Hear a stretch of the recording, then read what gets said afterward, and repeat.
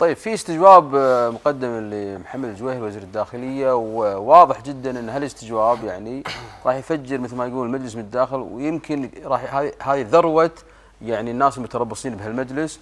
وذكر إن محمد الجويهري راح يعني يركز على قضية الزواج الجنسية وراح يثبت ان في بعض الاعضاء مزدوجين وأيضا إذا أنت طبعا أنت متابع إنه هو ذكرك بالاسم يعني ان اني مزدوج يعني؟ يعني هو ذكر بالاسم إن يعني والدك الكريم الله يرحمه عنده ولدين طبعا بغض النظر إحنا كصحفيين يعني نوجه السؤال بتجرد ولو إن عندنا رأي واضح في مثل هالحركات. مثل هالاستجواب لو صار على هالنهج ما تعتقد إن آه، فكرة إنه يكون استجواب سري في مرحلة معينة أفضل من تحول المجلس لمجرد انتقام من شخصيات معينة وذكر أسامي عوائل ويعني أشخاص يمكن في ذمة الله؟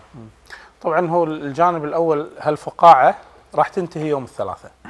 هالفقاعه اللي اللي ضجت فيها الكويت ثلاث سنوات إحنا ننتظرها اليوم عشان تنتهي لأنها فقاعة راح يثبت إنها بإذن الله فقاعة.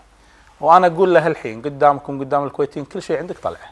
نعم. خاطب منو؟ الجويهل محمد الجويهل الجويهل أنا ما أخاطب اللي ورا الجويهل نعم.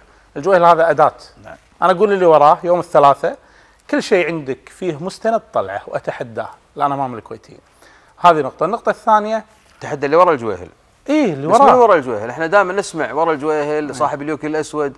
لكن لما تجي التفاصيل منو من اللي ورا الجويهل يعني هل حددتوا ملامح اللي ورا يعني أقول لك أقبل مو غايب يعني عني بس أنا لا منه. لا هو هو الكلام. يعني لما تشوف بعض الشخصيات أو مو شخصيات بعض الأشخاص اللي لا عمق.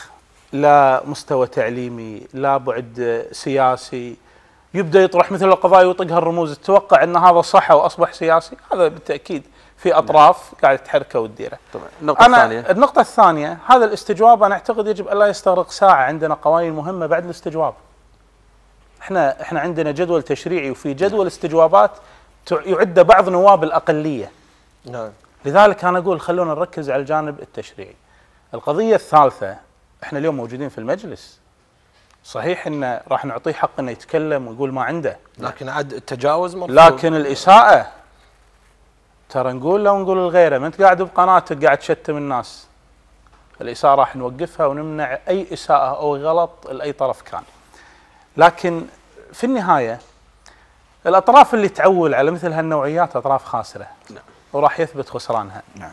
وأنا أقول لك كان يوم من الأيام كنا نقول عسى هالنوعيات يوم من الأيام توصل تطلع وتقول اللي عندها لأن راح يثبت إنها فقاعات ما راح تقدم ولا تأخر.